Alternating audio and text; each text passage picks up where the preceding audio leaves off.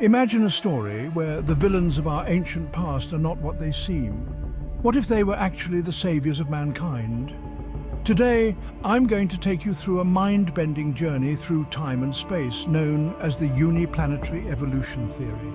Let's dive deep into a secret hidden since before the dawn of man. According to both Christian, Muslim and pagan texts, fallen angels were sent to Earth appearing as men. Some of them, it said, mated with humans producing hybrid offspring. But what if these beings were actually men equipped with advanced technology and knowledge of the future? What if their sole purpose was to enlighten mankind to a truth so profound that it could elevate humans to the status of gods? This is where the uniplanetary evolution theory comes into play. It suggests that all the planets are simply Earth at different stages of its evolution, visible all at once. Mars is Earth destroyed in the future, and Venus? Venus is Earth in the past, an opportunity for humanity to reset time. To navigate this cosmic journey, our astronauts would need to become immortal time travelers, transformed by medical nanobots, tiny robots the size of bacteria and viruses coursing through their veins. Their mission?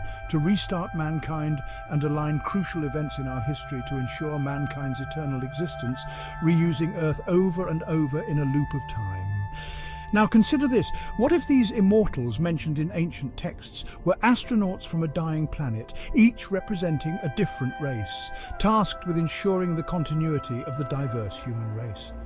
And what about Lucifer, the figure cast down to walk the earth for eternity as an immortal?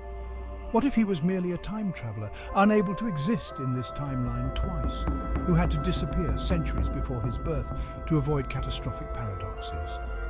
What if he left behind a group of individuals imbued with his knowledge, waiting for his return in the future? Could the Watchers, the mysterious figures from ancient texts, actually be the Greys, evolved humans from a billion years in the future, who only exist because a human travelled back in time and created hybrid humans? Every time we cross the bridge, they opened from the future to the past.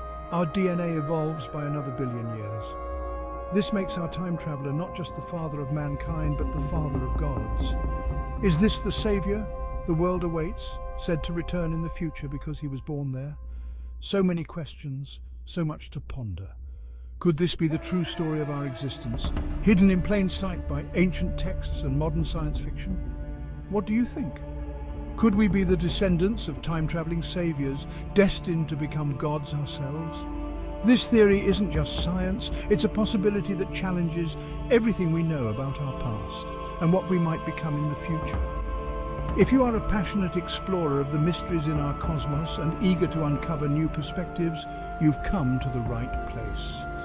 We post thought-provoking videos every day, so don't miss out on any of our mind-blowing episodes Hit that subscribe button now and embark on more awe-inspiring voyages of discovery.